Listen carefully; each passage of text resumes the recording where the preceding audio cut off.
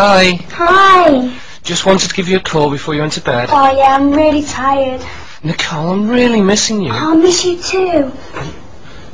Nicole? Is there a man in your flat? No.